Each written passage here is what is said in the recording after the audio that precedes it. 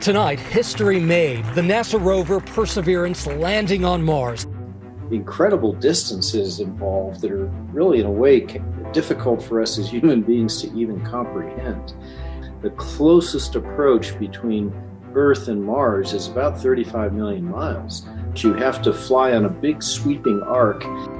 We launch off of Earth and we're aiming at a point that is millions of miles in front of Mars, where Mars will be seven months later.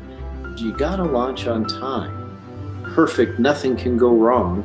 And it's gonna get there precisely when Mars catches up to it. The spacecraft itself has to conduct maneuvers in order to be captured by Mars, re enter the Martian atmosphere at just the right angle end up at just the right place. We delivered this to one of our most accurate insertions ever.